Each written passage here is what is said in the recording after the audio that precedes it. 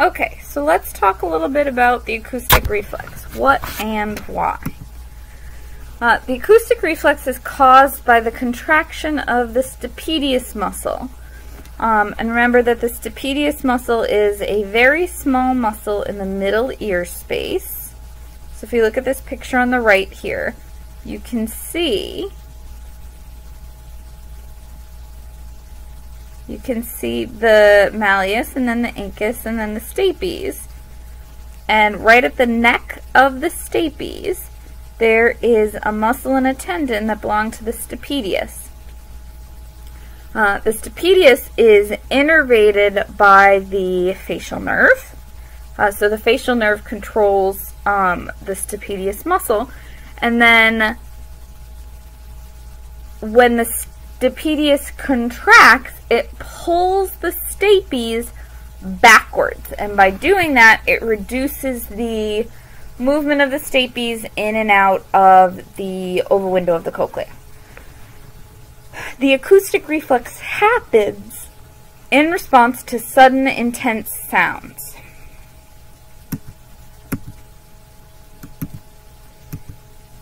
Um, the theories about what uh, functional purpose the acoustic reflex serves evolutionarily has actually undergone several transformations.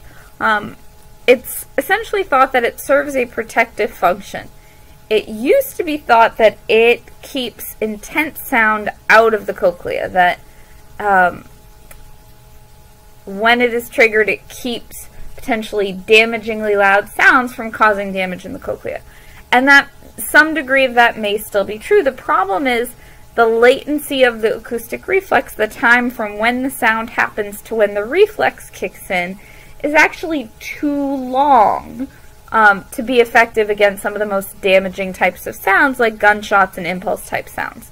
Um, there are additional theories now that it may protect against longer term noise, so like factory noise, um, noise that is ongoing for a longer period of time. It's also thought that it may confer some advantage for understanding speech and noise, that people who have faster, more robust acoustic reflexes actually do better at understanding speech and noise um, when the reflex is activated. The structures involved in the acoustic reflex. Um, so the stapedius muscle, if we look at the right, uh, sorry, the right side of the picture, the left ear. So the SM is the stapedius muscle in the middle ear. Um, so sound is traveling through the middle ear to the cochlea, from the cochlea up the auditory nerve, from the auditory nerve to the ventral cochlear nucleus, um, from the ventral cochlear nucleus up to the superior olivary complex and the facial nerve nucleus on the same side, and then from the facial nerve nucleus down back to the facial nerve, which innervates the stapedius muscle and activates it. So if you're just looking ipsilaterally, if you're just looking at the left ear, ignoring the dotted lines, um, the that's the reflex arc for the left ipsilateral reflex. Now, when a loud enough, startling enough noise comes into the left ear, it is going to simultaneously activate a reflex in the left ear and the right ear. So what's actually happening is simultaneous bilateral activation. Um, and this happens through um, contralateral connections from the ventral cochlear nucleus on the left side to the right SOC, the connections from the left SOC to the right SOC, and then a connection from the left SOC to the right facial nerve nucleus. Um, and this is just showing the connections from one side. These all also would be true on the other side as well. So all the right ear structures cross back over um, to the left ear structures as well. So even if you only put sound in one ear, you're going to activate a bilateral reflex.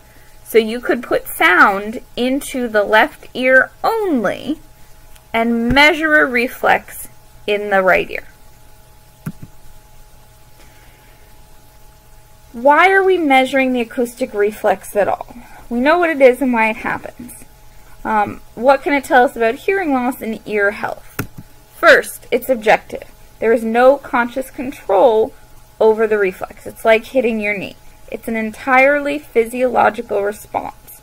So, it's really helpful as a cross-check to help us verify and work in concert and support other test results. It has the reflex arc that I just showed you that we're going to look at again um, in a different slideshow needs a multitude of structures and nerves to be intact and functioning correctly in order for the reflex to be activated.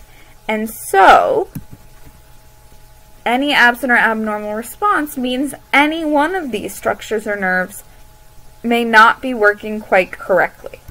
But because of this, because there are multiple structures and multiple nerves involved, it's not typically a standalone test. The acoustic reflex results support um, or act as cross-checks for other test results. And we'll talk about what other test results um, in one of the other slideshows.